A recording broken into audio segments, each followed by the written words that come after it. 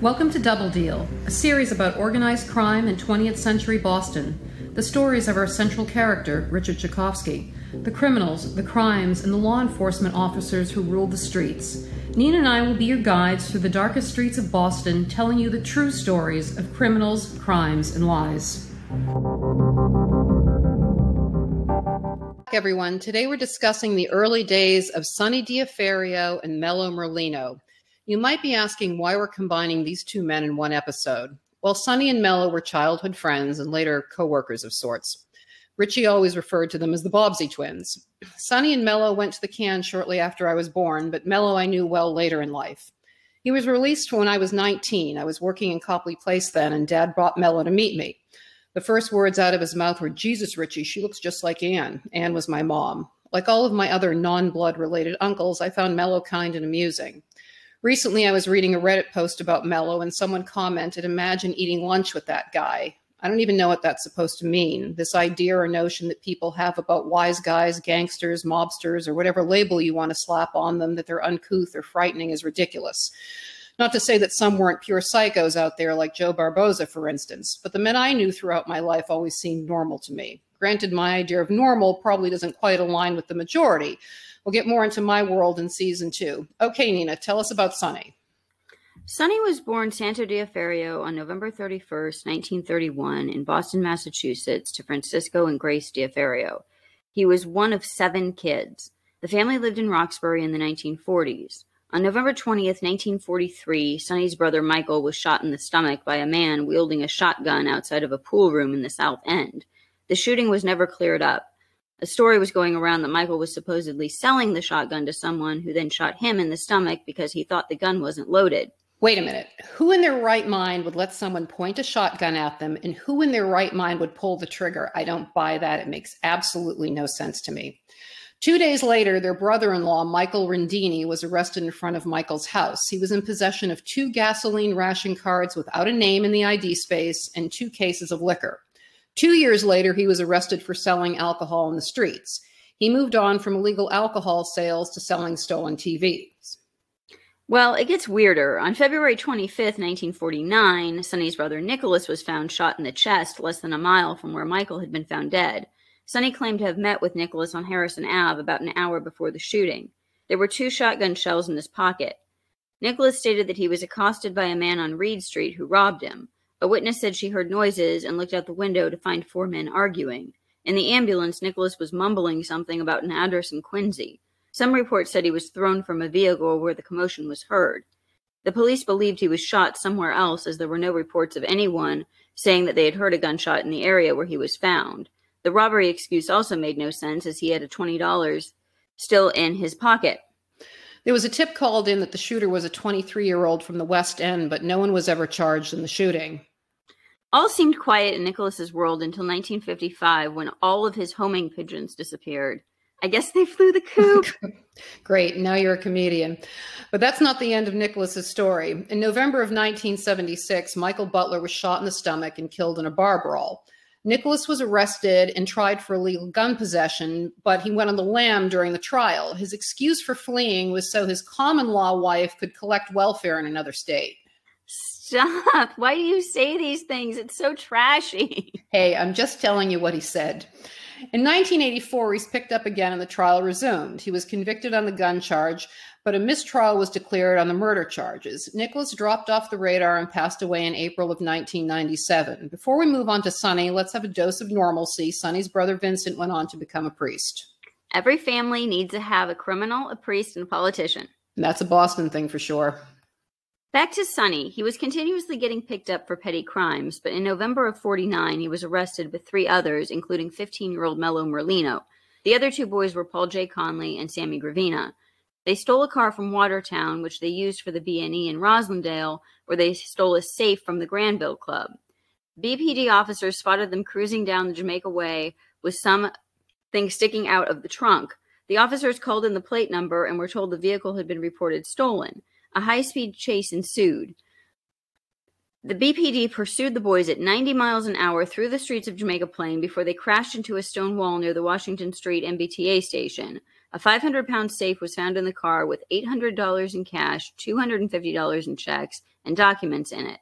Sonny and Paul were arrested at the scene. Mello fled on foot, but his mother turned him in. Sammy, who also fled on foot, was picked up a couple of days later. Mello, since he was underage, was released to his mother. The others were all held on $10,000 bail. On December 7th, Sonny, Paul, and Samuel pled guilty. The judge decided to split them up and send them to different houses of correction. They were each given 18 months, but warned them that their next offense would land them in state prison. Mello was never charged. How could you expect Sonny to turn out any different? I mean, with the brother Michael getting killed, Nicholas being shot, obviously there were more than a few issues in that household. No question about that. They were all released in late 1950. Connolly and Gravina ended up being arrested for kidnapping a 19 year old girl in Dorchester in September of 1953. The girl luckily escaped from the car. Not to get sidetracked, but Nina, you have to tell us a little bit more about Samuel Gravino. It's too strange to pass that one up. He went off the radar for a long time, but then in 1970 he was picked up for armed robbery, a petty $160. Before the guilty verdict in October of 1970, Gravino went missing. In 1973, he was found in Zurich, Switzerland. The Quincy PD and Mass State Police had to fly there to bring him back home. In 1993, he was locked up for stealing $30,000 in a roofing scam on two old women in Quincy and Braintree. Then he's thrown into the federal pen for welfare fraud and scamming casinos in Las Vegas and Atlantic City of roughly $60,000. In the end, he was found shot once in the head in his home in Hull. The neighbors said they weren't surprised. Think about that. He went on the lam to Switzerland for a lousy 160 bucks. Okay, back to Sonny. He got out in early 1951 and married Patricia Freiberg in June of that year. But on October 7th, he was arrested once again for a B&E along with two others from his neighborhood, John P. Foley and Edward Gullins. They broke into a house on Moss Hill Road in Jamaica Plain. The 15 year old girl who lived in the house walked in on them. Once again, Sonny found himself behind bars. The judge ordered each of them to be held on $10,000 bail. It's unclear what the outcome of that case was. I wasn't able to find a dismissal or a conviction for the case. But Sonny made headlines again on June 11, 1954. This time it was a payroll robbery that came to be known as the pepper theft. He and William Kavanaugh were picked up on the scene after officers heard the screams of the paymaster. Wait, you said it was a payroll robbery, but they robbed Peppers? No, they shook pe- a pepper shaker into the paymaster's eyes, hence the pepper theft. The headline was great. Pepper theft nets a hot $4,500. They didn't have a gun, just a pepper shaker. That's worse than Billy and the lead pipe. I can't. To top it off, when the cops were taking him and his partner in, they both tried to break free.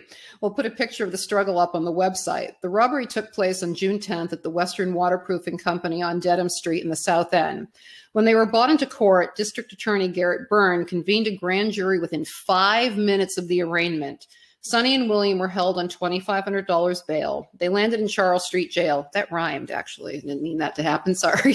if you listen to episode three, you might remember that Elmer Trigger Burke was sitting in Charles Street Jail in the summer of 1954 for his attempted hit on Specs O'Keefe. And guess who was charged with helping Elmer escape? Sonny. In September of 54, he was charged with aiding, assisting in conspiracy, along with four other inmates, including his friend Kavanaugh, and six of the guards. At the time of the indictment, Sonny and Cornelius J. Connolly were the only two still in custody. Vincent Paterno was released shortly after Burke's escape and was being sought. Trigger Burke wasn't the first escape that Kavanaugh was charged with. Earlier in the year, he was charged with helping Teddy Green escape. How he managed to be free at the time of the pepper theft and then make bail for that is still a mystery to me. He and Locke were picked up in a raid in Connecticut and transferred back to Charles Street. In October of 54, a guy named Keenan was picked up for two break ins in Roslindale. When Keenan's house was searched, burglar tools were found. He claimed that Locke and Kavanaugh bought the tools there the night of Burke's escape. A neighbor confirmed seeing the three of them that night. D.A. Byrne had specified that none of those indicted were to be released on a bail less than 25000 and without his consent. And how'd that work out for him?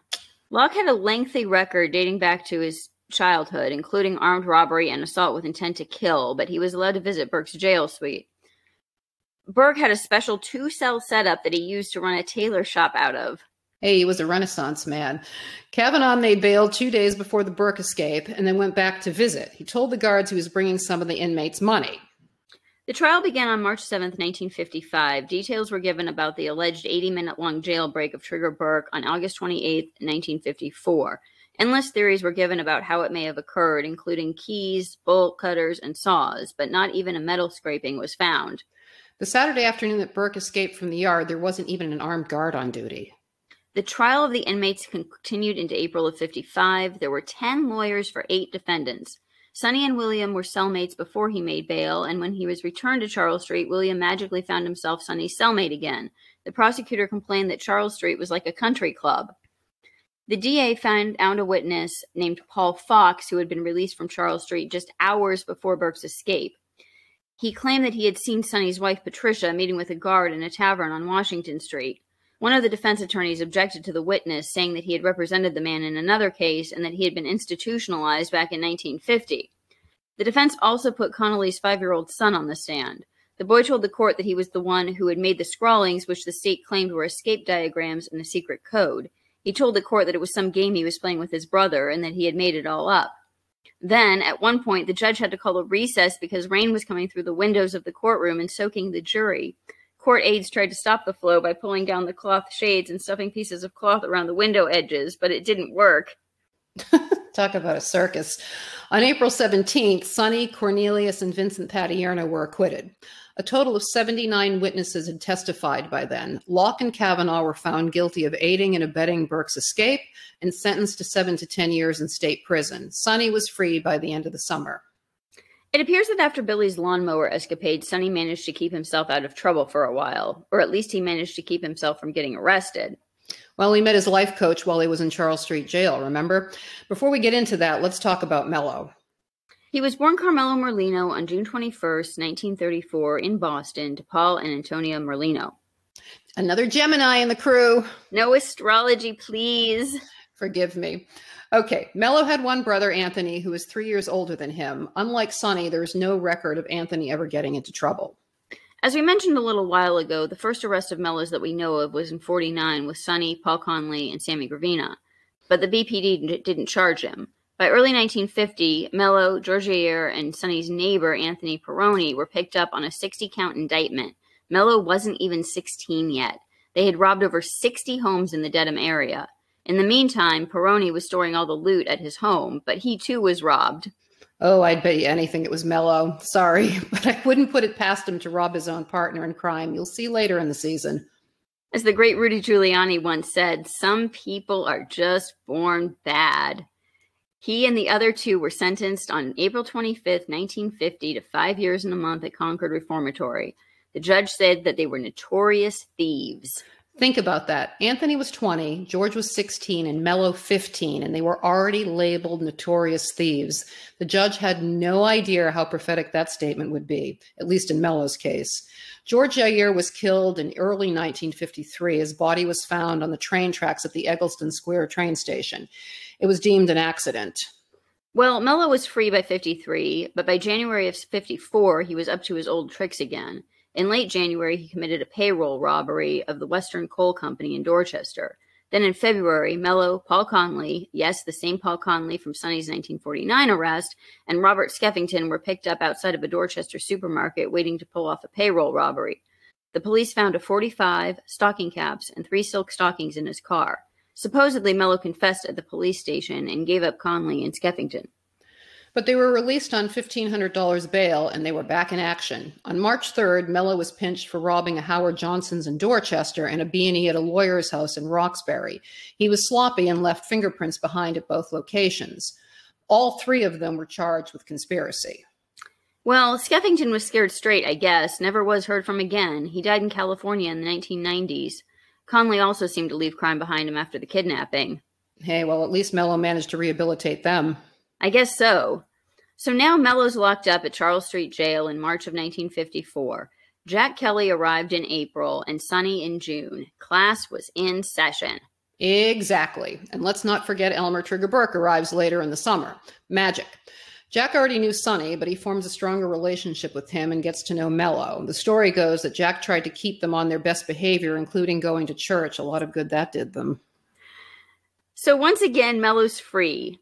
There's something odd going on, though. In February 1961, he was charged in federal court with receiving stolen property. Eleven witnesses were being sequestered. Well, except one, FBI Special Agent H. Paul Rico. This was a very strange case. Mello wasn't named in the newspapers. I did find one article from the February from February of that case. It was a truck hijacking. They recovered $5,000 in loot. The transfer was made from one trailer to another in Dorchester, then stored in Shrewsbury. Of course, Dorchester makes me think of Mello. Francis E. Hogan and Michael V. Husson were arrested. The article stated that a third man was being sought. I know for sure Mello wasn't convicted, and there's no mention of the other two men until August of 1973 when Hogan was picked up for mailing a pipe bomb to a competitor in the jukebox business. The bomb exploded on July 25th at the South Boston Postal Annex. They had previously firebombed the Worcester Music Company in March of the same year. The dispute was over an $80,000 judgment against Hogan and his partner in crime, Joseph Belkelfine. You know, I have my suspicions that Mello may have been informing too back then. It's possible, and the timing is suspicious to me. What I can say is that from the time they were in Charles Street together, Jack took Sonny and Mello under his wing. They both managed to elude arrest with the exception of the one odd case of Mello's. Sonny goes on to have a gas station and Mello a garage. Whenever Mello was on the street, he would have a mechanic shop of some kind, the most infamous being TRC in Dorchester. I get it as far as your informant theory goes. Anytime I see Rico's name, my mind goes straight to informant. But considering the amount of time Mello did in the can, I doubt it. That's not to say that the cops were lying about him giving up his two companions in 54, that he didn't make some deal in the 61 case, but it's a mystery we're never going to solve. Oh, my mind goes to a much worse place when I see or hear Rico's name. you know, I'm glad our next episode is going to be about Rico's early career. And Nina is thousands of miles away from me. I might get hit with a stray punch or something if you get wound up. Great. Now everyone's going to know how bloodthirsty I am, but I don't want to give too much away here. All five feet and 90 pounds of you, I have witnessed you muscle your way through crowded metro stations in Tbilisi and Kiev, so I know you can be dangerous. I always tell people you were my bodyguard on our adventures around the globe. Everyone has a good laugh imagining that one. It's supposed to be the other way around since you're the Amazon. Yeah, but it's much more interesting that way. All right, guys, thank you all for listening. We'll get way, way into more information about Mello and Sonny in the next few episodes.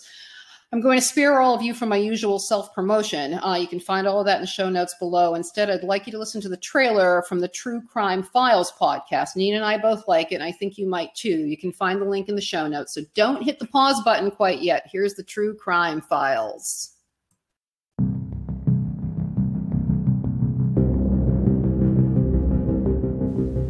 Double Deal True Stories of Criminals, Crimes, and Lies.